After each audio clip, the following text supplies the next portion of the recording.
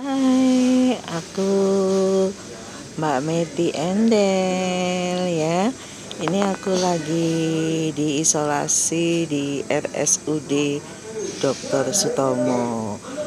Saya cuma mengingatkan bagi teman-teman semua yang belum kena ya, jaga diri, jaga kesehatan, pakai masker, dan yang paling penting kalau tidak ada keperluan sangat-sangat penting, jangan keluar rumah.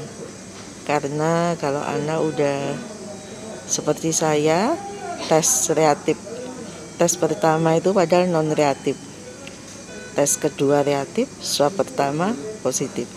Akhirnya masuk isolasi. Dan masuk isolasi itu sakit tidak enak.